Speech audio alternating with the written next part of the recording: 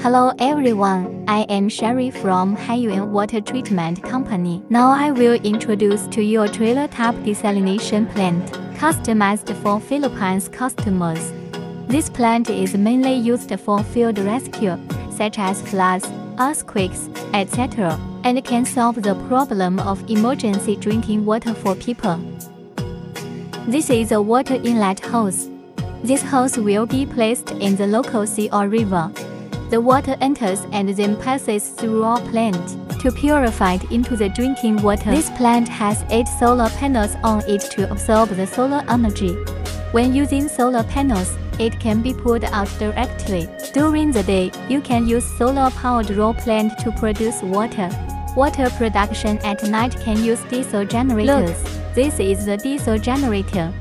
This is the reel that holds the water hose.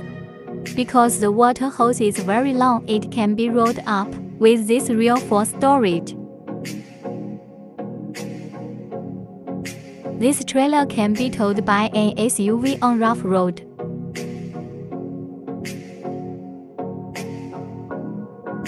This is the anti-scaling device. This is a sand filter. This is customized by the customer, and the customer's logo is printed on the outer box.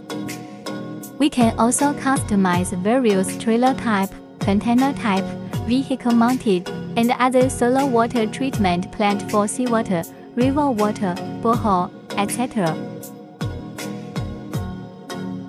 That's all. Thank you.